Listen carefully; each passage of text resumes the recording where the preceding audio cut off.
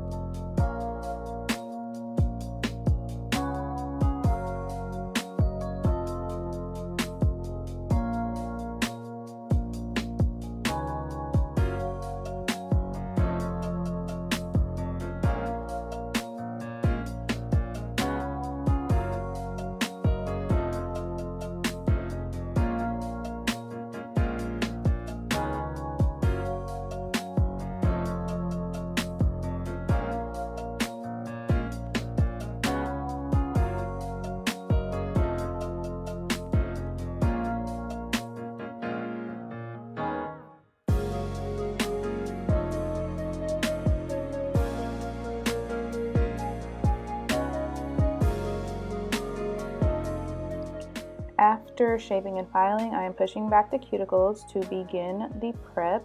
And I'm going in with my needle bit just to get rid of the dry skin and the leftover acrylic from the soak off. This is my favorite bit to use just for the simple fact that it really helps get up a lot of that dead skin and also it gets into the sidewalls very well. I only use this around the cuticle area and I make sure to use it as flush to the nail as possible.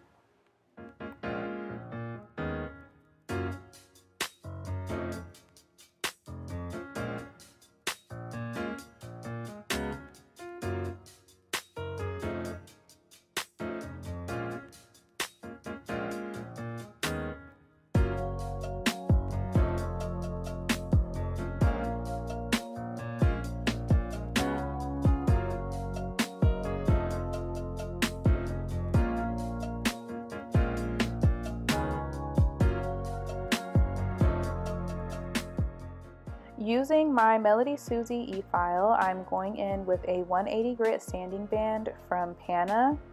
I love these sanding bands because they are very well put together, they're durable, and they are affordable. So make sure that you get you some. Let me know how you like them. They are listed in my Amazon list that is in my description box. Also, one thing to remember is that when you are doing this part, using an e-file, you want to make sure that you're at a low speed. So I personally stay at 3 or 4 RPM just to make sure I don't overfile or cause any discomfort to my client. You want to make sure that you're not damaging, damaging the natural nail. You're just trying to make sure that you get that shine off and smooth anything that may be left over on the nail plate.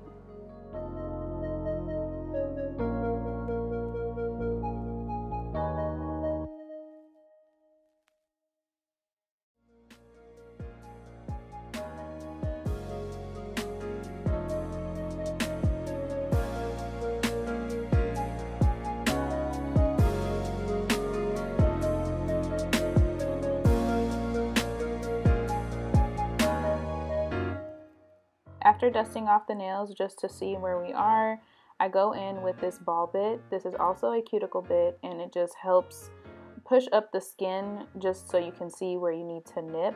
And as I said in pre previous videos, you want to make sure that your nippers are sharp and good quality so that you're not tearing at the skin. You want to be able just to cut through that dead skin opposed to pulling it and tearing it off, causing any openings in the eponychium, which can lead to infection.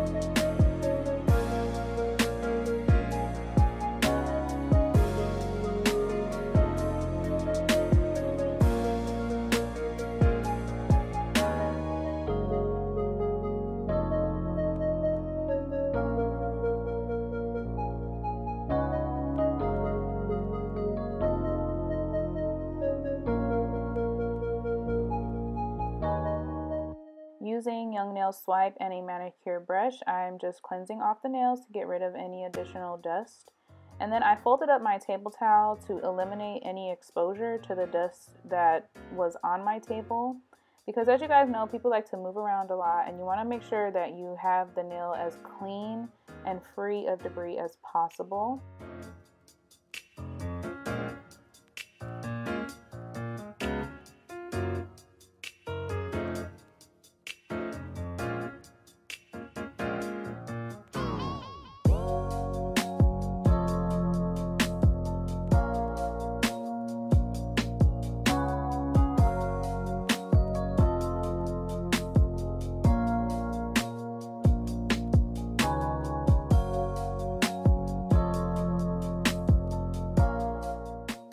Brush I'm using today is the number 9 Oval Kolinsky from Alpha Brush.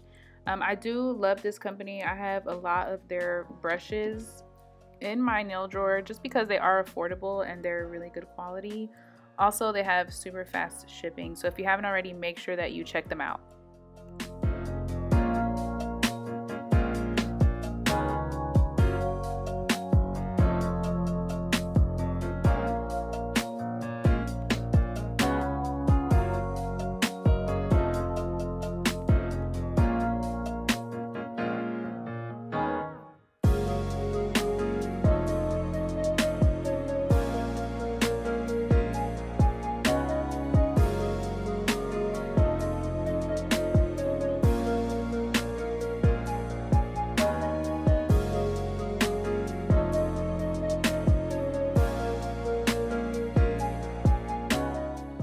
Doing an acrylic overlay, you want to make sure that you cover the entire basis of the nail. As you can see here, I started with a one ball method, but I eventually just went ahead and just added acrylic where I needed to. I wanted to always make sure that I covered the free edge just to avoid there being any separation between the natural nail and the acrylic, which can cause breakage, or you can get water under there and then you'll get a greenie. Nobody likes those. So I'm just making sure to cover everything and get everything nice and even.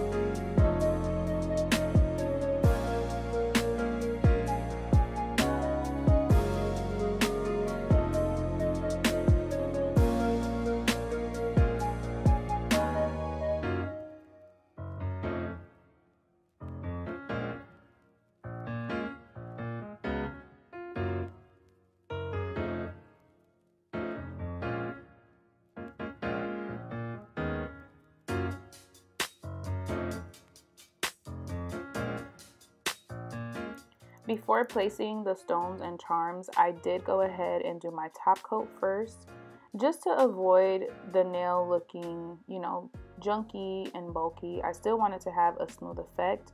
So that's what I'm doing here now. I'm wiping off that sticky layer just so that we don't get any lint or anything sticking around after we apply the stones and charms.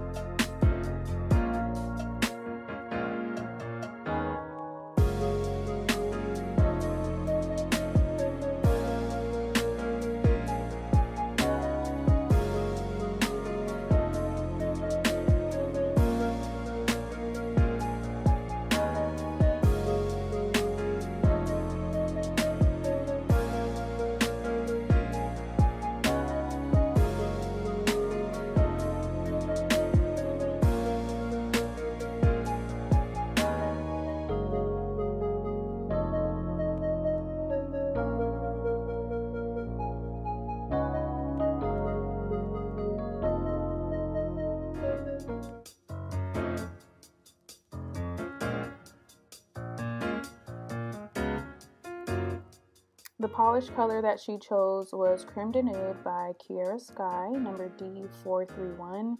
And I love the way that this color came out with her skin tone. I went ahead and added some stones, some 3D hearts, and 3D moons. And just one word of advice I want to give for you guys today is just to make sure that all of the items in your nail drawer are up to date and make sure that, you know, you're keeping up with what works and doesn't work. Because these stones were so thick and heavy, I did go ahead and use a hard builder gel, which I don't know if it was is expired or if it's just not a good quality gel, but this the charms came off the next morning. So stuff like this happens often. Just make sure that you handle your clients professionally. Ask them what you can do to make up for the error or refund them their money. You know, just make it worth both of your while. Um, but like I said, just make sure that everything is up to date. Make sure that you know all the processes for every type of nail supply that you have.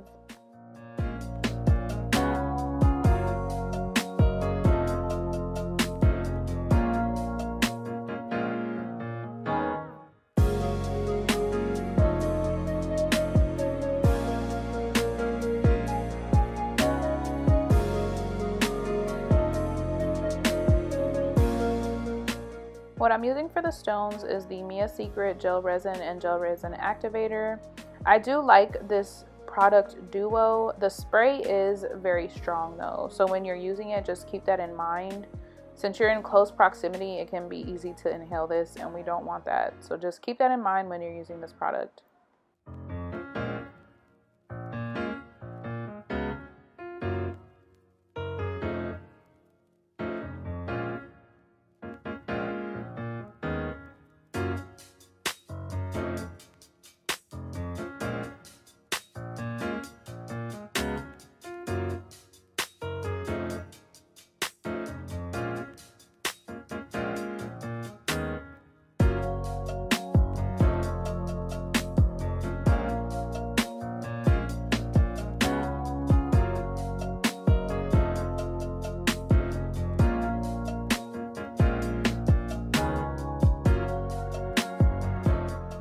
That's it for today's process of nails. If you guys have any questions, feel free to leave them down in the comments.